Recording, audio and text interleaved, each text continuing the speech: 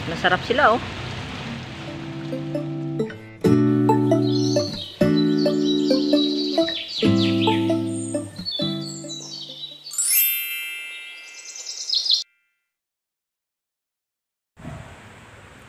Hi guys! Welcome back to my YouTube channel. Ngayon guys, isi-share ko po sa inyo yung ating bird nest fern dito sa garden ni Madam. Yun guys, so kung di ka pa nakapag-subscribe, mag-subscribe ka na, i-click mo na yung full bell notification para manonotify ka every time na may bago po tayong i-upload.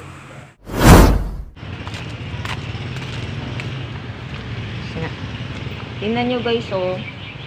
Yung aking peace lily, ba't ganitong nangyari? Bakit siya bakit siya na ano yumuko ang ganda-ganda kaya yan nung tinanim ko. Ito pa guys oh. Yumuko siya. Hindi naman siya sa nilipat ko na nga siya eh sa lilim. Hindi na siya sa araw.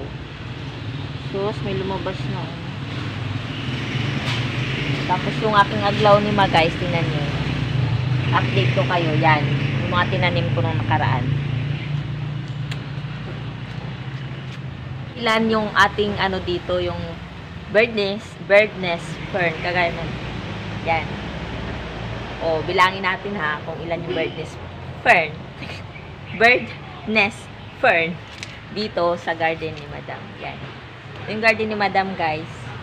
So, hindi ko may papakita lahat, no? So, ayan. Mga halaman dito. So, i-share ko lang sa inyo yung kung ilan yung bird nest fern dito. Ayun, isa. Yan na, ano ko na yan, na-vlog ko na yan. So, yan sa Giant Bird Nest. Giant Bird Nest Fern. So, ayun. Diba ang laki niya, no? So, ayan na, ito. One. So, yan yan, sa puno ng mangga. Kita natin. Yun guys, sa puno siya ng mangga. Uh, ayan yung mangga. Oh, diba? Mangga! puno siya ng mangga. Ang laki niya na. So, ano yan, di ba? Giant bird nest. Oh, ayun. Two, three. Ayan, tatlo na. Ba, ang ganda, guys. Ayan siya, nakadikit lang siya sa puno. Tingnan nyo.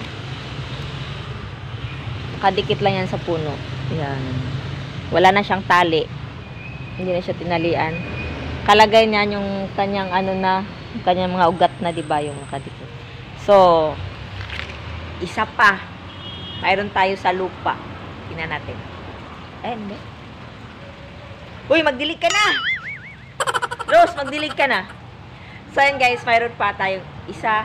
Ayan ito, nakadikit. Diba, nakadikit siya sa puno.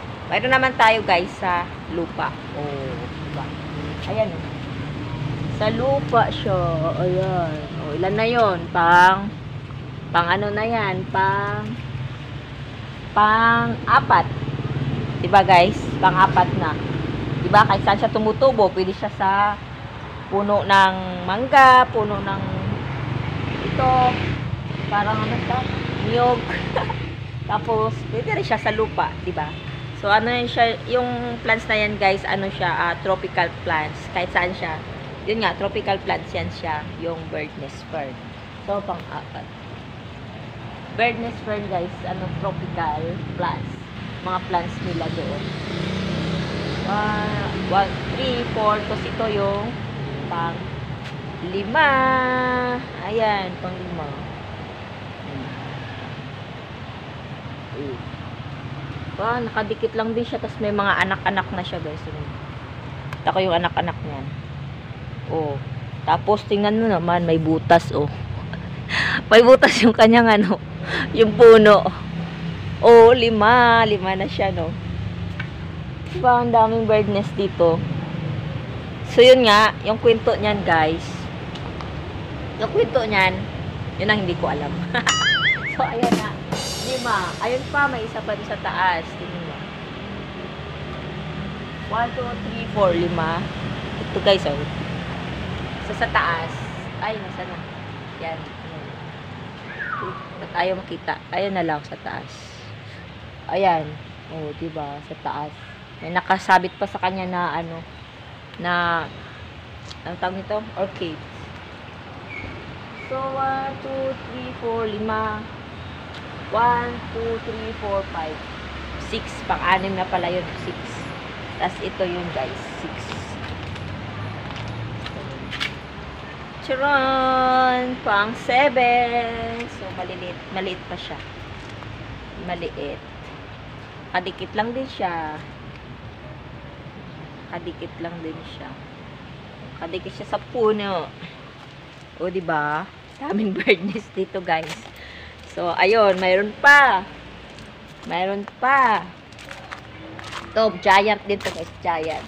Giant bird nest. 7, pang 8. Charan! Ayun, oh. Pang 8.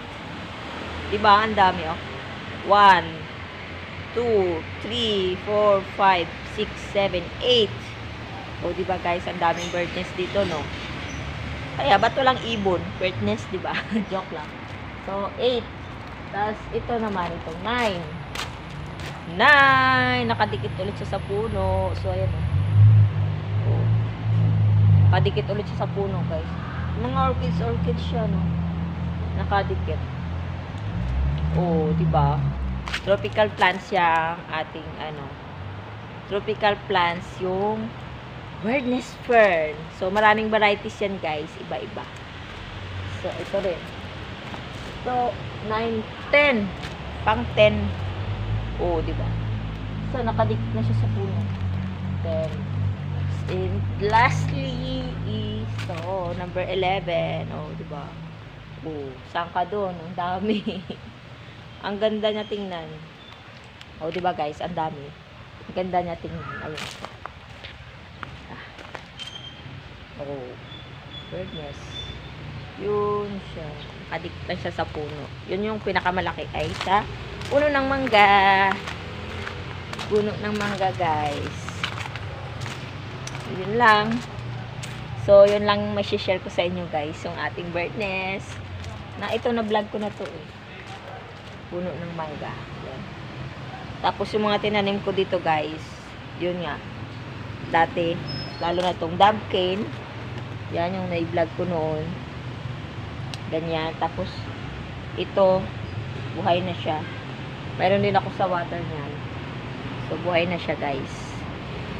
So, yun lang ang i-share natin dito sa garden ni Madam, guys. So, hindi ko hindi ko kayo matutor lahat sa mga plants. So, yung mga naitanim ko lang at ito, na hindi ko alam kung ano ang kwento nito. Kung saan niya nabili or what. Ang, ang ganda, guys. Ang laki niya. Pwede rin to sa indoor, sa bahay. Kasi, ano, tropical siya, madali siyang mabuhay. So, yun lang guys. Thank you for watching. Bye!